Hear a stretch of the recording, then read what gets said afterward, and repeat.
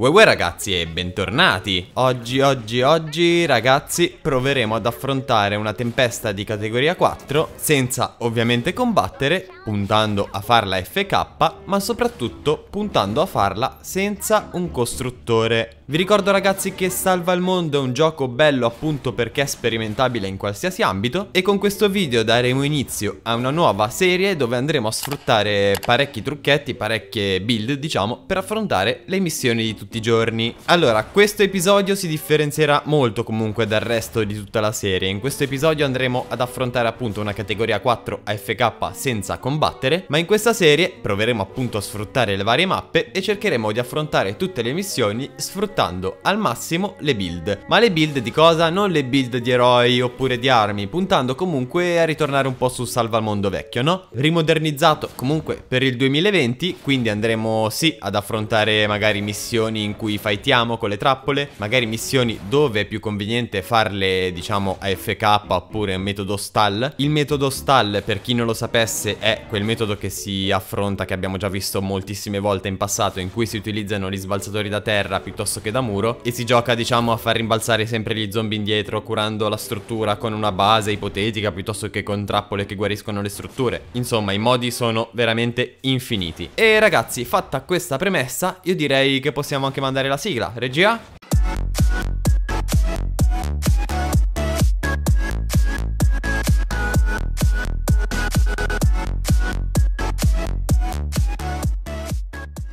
Allora, ovviamente essendo una tempesta di categoria 4 ragazzi diciamo che ho voluto cercare appositamente una missione che mi piantasse tutti gli atlanti in terra. Poi comunque con questa particolare build più atlanti sono in aria più risorse risparmierete sia per quanto riguarda ferro e mattone ma sia per quanto riguarda anche le trappole. Ebbene dopo aver trovato i 4 blab necessari all'attivazione della missione e dopo aver soprattutto trovato i 4 atlanti avanti e diciamo fatto sparire qualsiasi accampamento circostante, non ci resta che cominciare a costruire. Ovviamente per rendere il tutto più fattibile da tutti andrò a affrontare questa missione diciamo senza un costruttore, quindi a trovare un metodo per farlo senza il costruttore. Non è l'unico metodo, eh, ci tengo a precisare che ce ne sono molti altri, anche magari più efficienti, più sbatti, possiamo dirlo. Vabbè, comunque nel corso di questa serie vedremo anche le varie build. Questa è una build molto molto semplice semplice, adatta a chiunque di voi, basterà comunque possedere pochi progetti di trappole sostanzialmente, basta il progetto comunque dei pugnamuro e di qualche trappola da muro che curi gli edifici, ancora meglio se siete dotati di tanta durevolezza nella squadra dei superstiti così potete diciamo mettere la perk appunto che aumenta la salute direttamente sul pugnamuro. E andare già a risparmiare 4 trappole che vedremo tra poco. E poi personalmente utilizzo 4 congelanti ma possiamo benissimo aggiungere un muro in più e utilizzare una luce al muro piuttosto che appunto le trappole congelanti. Per ogni Atlante è scoperto da tutti i lati, quindi 4 trappole congelanti, 4 pugnamuro e 4 acule, in questo caso tra virgolette, che curano la salute. Potete sostituire le trappole congelanti con delle luci a muro, a patto che comunque aggiungiate dei muri, e adesso vi spiegherò bene il procedimento. L'unica cosa un po' fastidiosa comunque dei 4 Atlanti è appunto il doverli buildare tutti e potenziare tutti quanti. Quindi in media si consumano circa 3000 materiali quali per esempio se faccio tutti gli atlanti di ferro si consumano più o meno 3000 di ferro, 3500. Poi ci sono atlanti che vanno coperti differentemente in base alla posizione in cui spawnano, magari atlanti che vanno comunque non difesi, se spawnano per esempio in aria piuttosto che magari sopra una collina dove basta comunque una struttura per coprirli. Le situazioni sono veramente moltissime che ci possono capitare e ad ogni situazione possiamo comunque prendere dei provvedimenti. L'importante è capire il concept base. Allora, dovendo buildare comunque tutto da solo, spenderò un un botto di materiale, ma è chiaro che comunque andando a affrontare questa missione con un team, se siamo in quattro persone e ogni persona si prende cura di un Atlante solo, beh, capirete che è un big win per tutti. Poi senza contare il fatto che comunque sto affrontando questa missione con un ninja, basterebbe mettere un costruttore con una base, una base su ogni Atlante con il riciclo, e non solo abbiamo più sicurezza sulla difesa dell'Atlante in sé, in quanto con le strutture che hanno più vita, in più rallentano e in più recuperano anche la salute, Beh, stiamo il triplo più tranquilli rispetto comunque a giocarla con un ninja, no? E in più possiamo comunque contare sul riciclo della base e approfittarne per recuperare qualche materiale. Dopo aver comunque ripulito tutta la zona circostante da accampamenti casette, strutture, ho tappato persino i buchi ragazzi perché comunque diciamo che se gli zombie cadono nei vari buchi è un po' un problema. Ricordiamo che comunque il principio di questo metodo è appunto il non uccidere zombie, il che equivale anche a non farli despawnare. Se loro cadono diciamo in un sotterraneo e non hanno il modo di risalire, alcune volte si bloccano lì ma alcune volte despawnano direttamente. Allora, partiamo con la costruzione. Innanzitutto copriamo gli atlanti proprio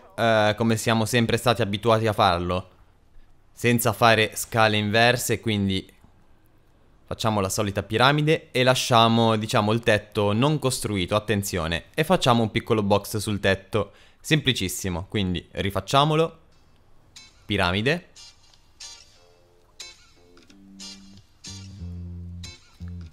niente tettuccio e facciamo un piccolo box qua. Lascio l'apertura per comodità. Sempre la solita piramide.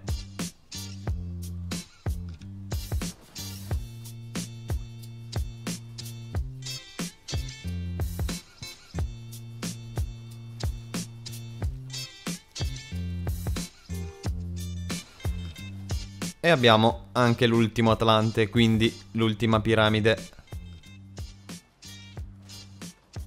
A questo punto, per sicurezza ragazzi, faccio dei muretti, anche se ho già provato ad affrontare, diciamo, tante volte questi Atlanti, anche al 140, e non ne ho mai avuto bisogno. Però qualche volta succede che comunque qualche zombie inizia a attaccare gli angoletti. Noi, per non rischiare, possiamo fare Così mettiamo dei muretti invertiti, ok? Per tutta la superficie di tutti gli atlanti, diciamo. A questo punto, ragazzi, sto solamente potenziando il tutto, quindi porto tutto il metallo al 3 e poi vi spiego che trappole utilizzare. Allora, dentro ad ogni box che abbiamo creato, ci andiamo a mettere i 4 aculei, che sono quelli che, diciamo, cureranno la struttura da dentro. È molto positiva questa cosa rispetto comunque a optare sulla seconda opzione che vi dicevo prima, no? Di mettere la perk di guarizione appunto al pugno muro che andremo a mettere sull'altra superficie di questi muri, adesso vi faccio vedere. Perché diciamo che nel momento in cui magari il pugno finisce l'utilizzo e quindi voi non siete sicuri che il pugno vi duri tutta la missione, beh neanche la perk di guarizione a quel punto avrà più effetto, mentre facendo così, beh gli aculei dentro diciamo che non finiranno mai ed è vero che senza il pugno muro non farà in tempo a guarire, però diciamo che se mancano pochi secondi potete cavarvela un po' così, no? Uno stendardo, un campo lento, insomma sapete come funzionano queste cose, no? Poi procediamo con i pugni a muro. Allora ragazzi, c'è da notare una cosa molto fondamentale qua. Innanzitutto potete benissimo optare per utilizzare dei pugni con una sola velocità di ricarica e mettere, diciamo, la congelante sotto con una doppia perk di ricarica. Io in questo caso le utilizzate entrambi con la stessa velocità di ricarica, però facendo ciò dovete stare attenti perché diciamo che se uno zombie è congelato e viene sbalzato dal pugno a muro riceverà pochissimo di danno danno Che in una zona al 160 non è un danno così tanto essenziale da farci killare qualsiasi tipo di zombie. In zone inferiori invece purtroppo potremo addirittura killarli. Quindi diciamo nei muri che abbiamo messo internamente possiamo editarli e farli tornare a grandezza normale Semplicemente mettere una luce a muro al posto della congelante Invertire le piramidi ai lati per non far picchiare gli zombie ai lati Anche quella è un'opzione. Comunque in questo caso vi faccio vedere con le congelanti il discorso che vi dicevo E l'affronteremo così questa missione Intendo proprio su un muretto del genere. Allora, procediamo con le congelanti su tutte le scale di tutti gli atlanti.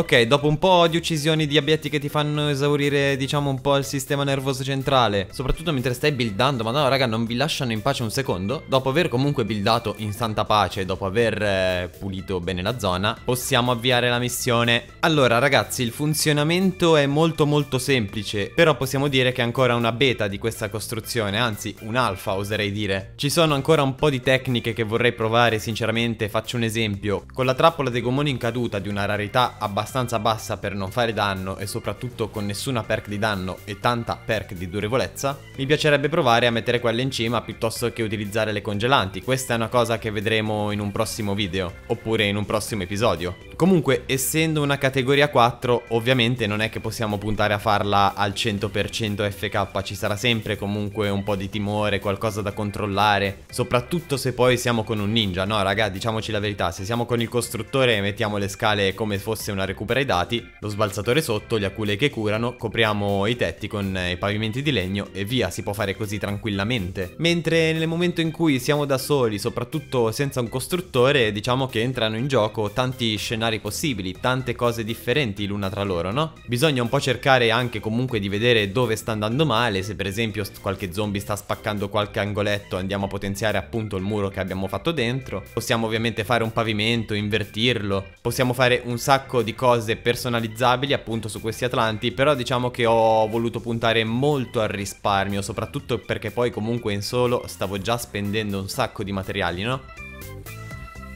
Su quell'Atlante lì, precisamente su D, mi sono dimenticato di mettere persino le congelanti.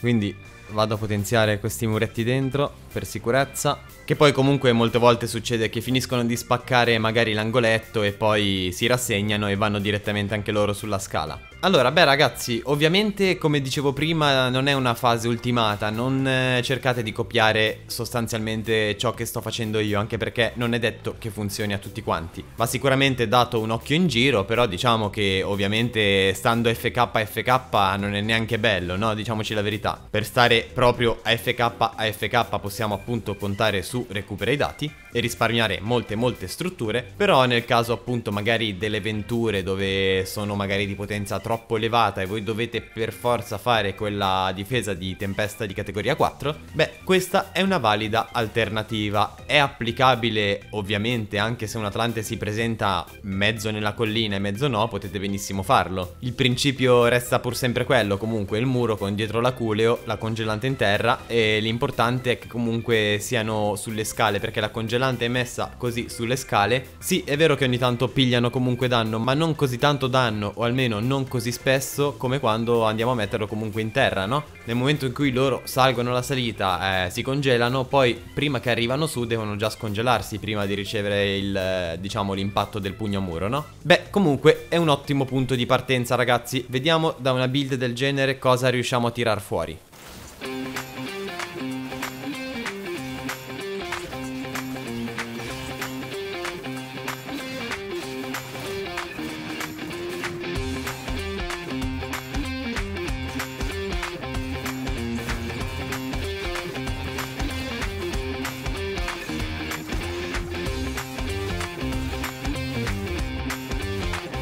Allora, eccoci qua ragazzi, sono finiti i pugni a muro su questo Atlante, diciamo quello attaccato di più da tutti. In questo caso cosa potete fare? Ovviamente potete mettere o una perk in più di durevolezza ai pugni, o mettere dei pugni con una perk di ricarica in meno, o avere comunque le squadre full durevolezza. Io in questo caso non le ho, io mi porto dietro il campo lento e lo stendardo, posso compensare così anche se magari certe volte non basta. In questo caso, come vedete, ho gli aculei che sono rimasti dentro alla struttura che continuano sì a curare il muro, ma il muro in sé non è che ha così tanta vita come quando abbiamo una base, no? Anche facendo una recupera ai dati completamente FK, vi sarà capitato comunque che esaurendosi una trappola avrete notato sicuramente che anche lì gli zombie riescono comunque a spaccare. E niente ragazzi, la durevolezza trappole resta ancora una cosa fondamentale in questo gioco, anche perché ora in questa missione mi è andata bene, dai, diciamo la verità, ora vedrete il finale. Ma non sempre vi succederà ciò, quindi prestate sempre bene attenzione a tutti i superstiti e soprattutto tutti i superstiti con la durevolezza trappole. Io ragazzi vi ringrazio della visione, vi ricordo che se volete supportare continuamente questa serie vi basta lasciare un bel pollicione in su. Se invece volete utilizzare il mio codice creatore per supportare la crescita di questo canale vi basta inserire il codice KinoTV nell'item shop di Fortnite. E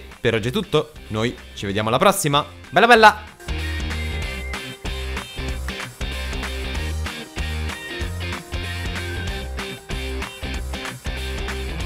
E bravo che sei arrivato fino a questo punto a guardare il video. Tu che ci sei arrivato saprai che questa build funziona anche con il mattone, non solo con il metallo, quindi se avevi qualche dubbio te lo sei tolto?